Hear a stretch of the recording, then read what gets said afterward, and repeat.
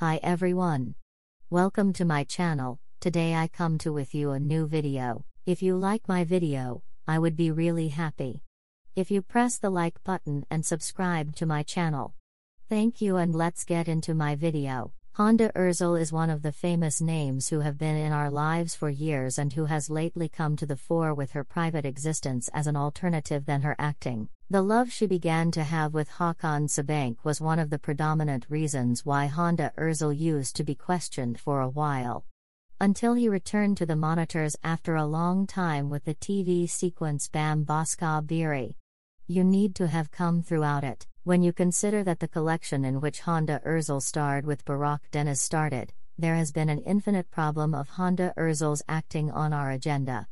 Hande Erçel has an tremendous fan base, besides those who shield and love him blindly and those who are addicted to him. There are additionally many human beings who do no longer like his appearing and reflect on consideration on it fake. And even though her performance in Bambaşka Biri is idea to be better in contrast to her previous performances, those who do no longer like her appearing additionally suppose that Hande Erçel has not been in a position to improve herself. If you had been an individual who was once constantly criticized and in the spotlight, you in all likelihood wouldn't like it either, it would probably upset you. It should have offended Hande Erçel, whom we do now not recognize what she thinks about this problem till today, because she spoke about these criticisms for the first time in the previous hours.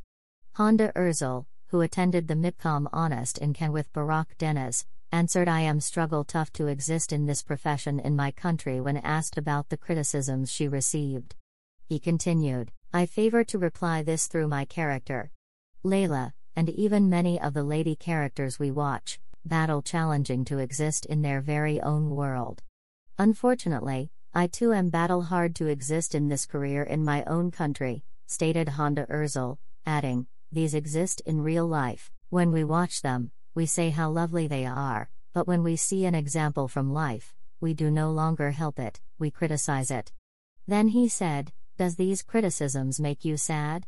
Sometimes, of course, it makes you sad, but my non public reply is that this is my 10th year in this profession, and if I were upset, it wouldn't be my 10th year either.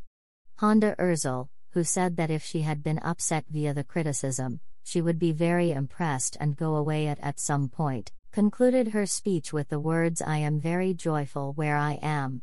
I'm glad female like Layla exist. He finished with the aid of saying,